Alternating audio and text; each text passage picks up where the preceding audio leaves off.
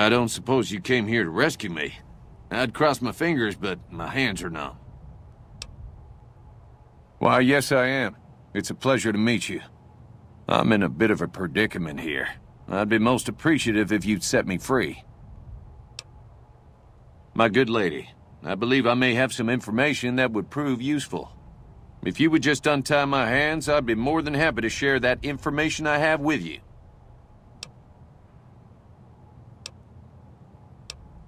Well, you look to be a trustworthy sort.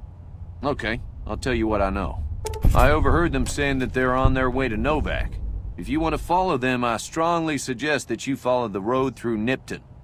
There are a lot of dangerous things out in the desert. and You won't have me with you to protect you, as I need to stay here and keep Primm safe.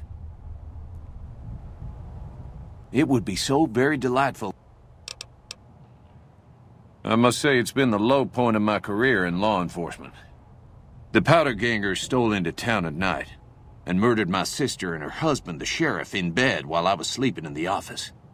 I watched them for a bit, waiting for the right moment to pounce and arrest the lot of them, taking careful notes as I watched. To my dismay, they found me while I waited in the shadows and brought me here.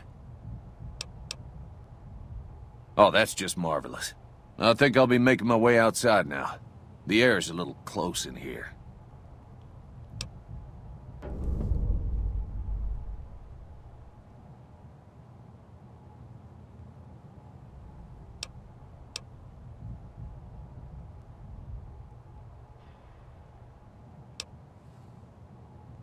Oh, that's so gracious of you to offer to bodyguard me like that. But I'd only slow you down. See you outside.